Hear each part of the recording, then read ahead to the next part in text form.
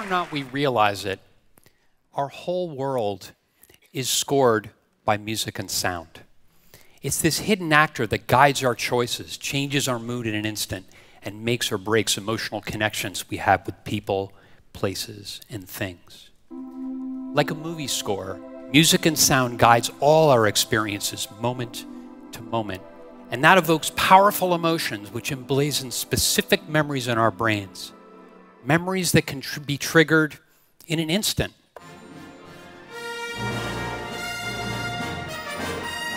Thank you, Maestro Williams. We actually respond to sound quicker than any other sense, which means that sound is actually the arbiter of all our senses. As human beings, we don't need to be taught this stuff. We're wired for it. Sound may be the most powerful, misunderstood, and underused tool we have in design, marketing, and architecture used rightly, sound actually can solve design problems and really influence behavior, heighten experiences, and humanize technology, but only if you utilize what I call sound first design. Now, this may be completely counterintuitive. It may not be how you're used to working. But as the world becomes more digital, as technology becomes more integrated into our lives, designing from humans at the center has never been more important. Now, human centered design is not new, it's top of mind for all of us. But most designers forget about sound. Human centered, sound focused design, sound first design, is human centered design. And what's more human than sound? Let me tell you a story. In the early days of HBO, unbeknownst to my parents, my siblings and I had, ages 6 to 10, we had access to some perhaps age inappropriate movies.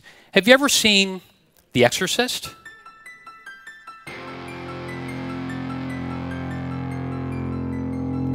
So we got really scared by the action, what I did was I actually turned down the sound on the television and then rescored the picture using the sounds from this big old portable organ we had. You know, the kind that has uh, an air blower that blows over these plastic reeds that vibrate and you can trigger with a keyboard.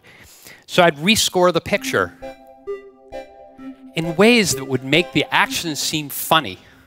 Hilarious, actually. So, even at the moments when Regan's head was spinning or spewing green pea soup, the crazy sounds of the organ had us break into fits of laughter.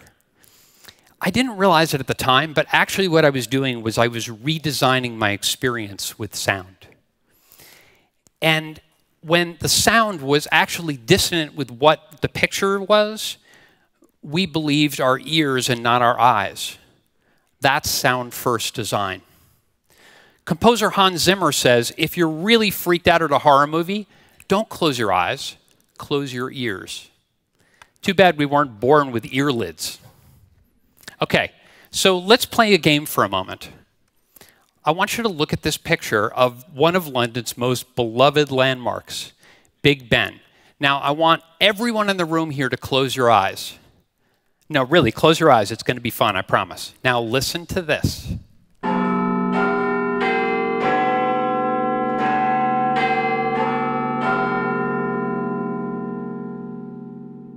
You can open your eyes now. Now, how did that make you feel? A sense of majesty, uh, grandeur, perhaps calm? And what images did it trigger in your mind? Did you think about bobbies or double decker buses, or perhaps you thought about walking down the streets of London or maybe the London Bridge? Now, I want everyone to close your eyes again and listen to this.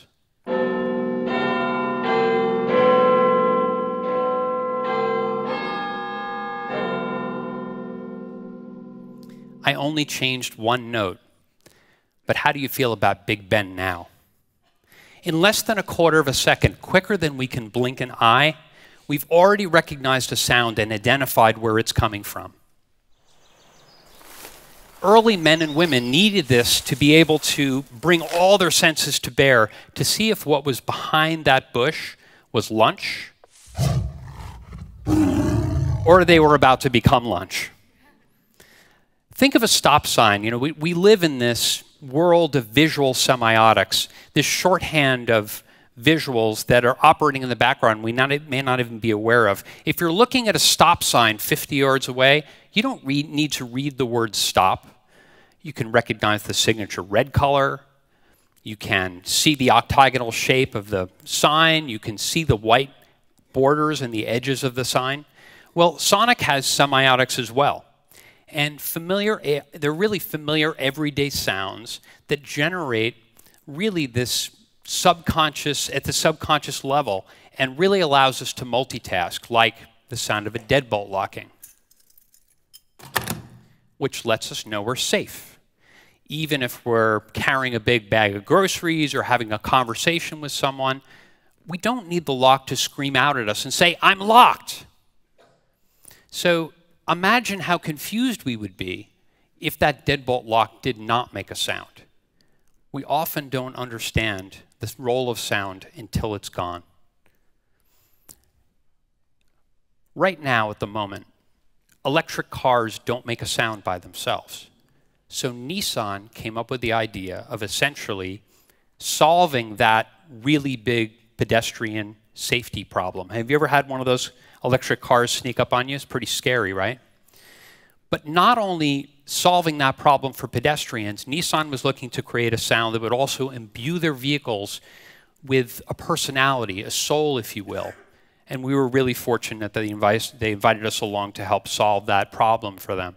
So what's interesting is that at the center of it is very much a human reaction problem. So it had to be designed, it really had to be solved, design first from sound, sound first design.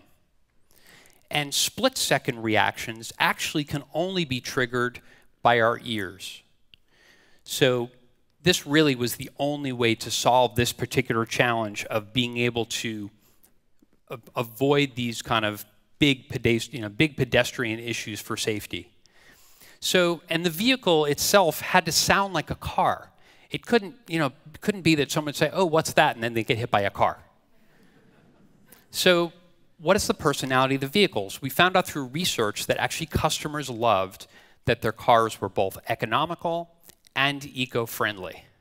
So, what does it sound like? Nissan calls the sound canto, or I sing, and it sounds like clean energy. Music has semiotics too. For instance, strings. They feel warm, heartfelt, passionate. Brass sounds feel strong, powerful, a sense of heroicism. Electronic sounds tend to feel more modern, forward thinking, or fun. Understanding these semiotics of sound and music is the backbone of storytelling with music. Dr. Aniruddh Patel, who's the associate professor of psychology at Tufts University, did a lot of work in terms of understanding, uh, really manipulating the sound and soundtracks of film, music, and sound. And what he determined essentially is the music is not there to, to just heighten the mood. Actually, the music sets expectations about what might be coming next. It helps create associations that may not even be on the screen. It helps us understand whether the story line is essentially resolved or not. It even helps us understand the relationship between the characters.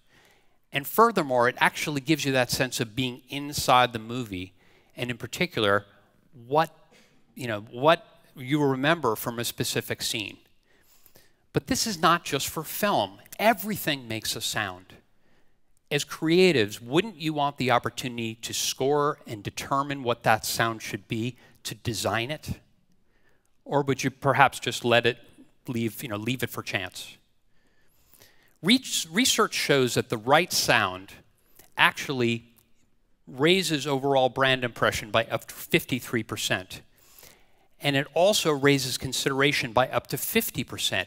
50%.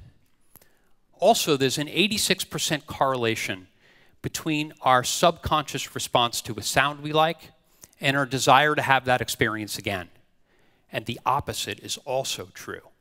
If we hate the sound, we never want to have that experience again. Never. This is what Facebook sounds like on my phone. Every button makes a sound. Why would I need this? Why would I want it? No wonder most people turn the sound off. The problem is that our world is getting noisier and noisier, which scrambles all these sonic signals. In fact, we are now completely overrun by sound. From escalating traffic noise to jarring alarms and chattering devices, ill conceived architecture is constantly reverberating in confined public spaces. It's a meaningless cacophony that ruins our experience and makes our world feel chaotic. If you've ever been in a hospital, you know that it's a horrible place to get better. And in no small part because of what's called alarm fatigue ill conceived devices, medical devices, actually alarm for little or no reason all the time. It confuses caregivers, it scares patients, and it creates what's called cortisol reactions, which actually make us sicker. So we partnered with the Cooper Hewitt Design Museum to really explore how we might take those scary sounds and transform them into what we call a symphony of healthcare.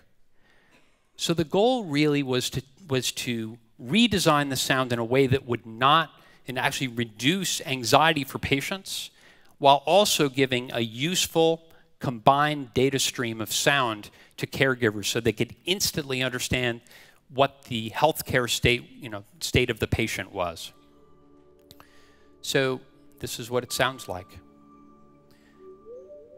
Heart rate is essentially a gentle tone. There's a, there's a steady tone against the heart rate.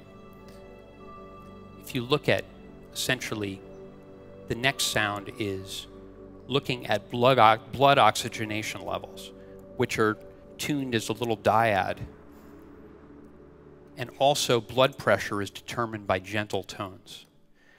This is sound first design. And sound first design is human centered design.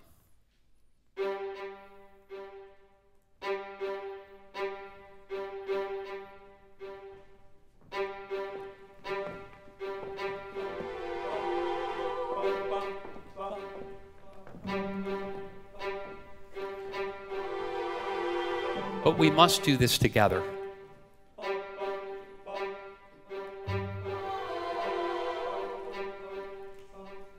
As designers, artists, creatives, we are all responsible for designing a richer, simpler future.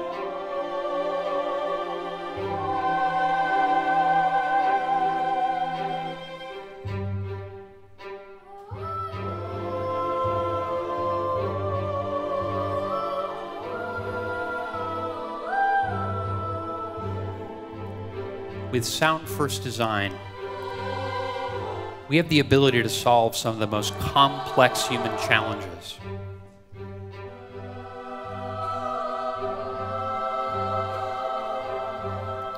And score the soundtrack of our lives.